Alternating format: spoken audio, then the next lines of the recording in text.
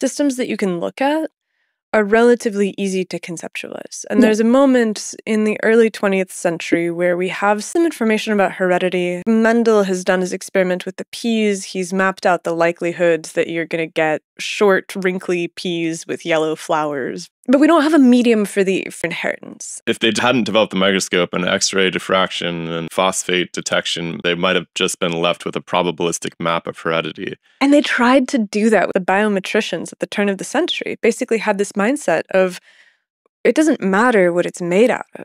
We can parameterize inheritance to a degree that we can tell you what's going to happen.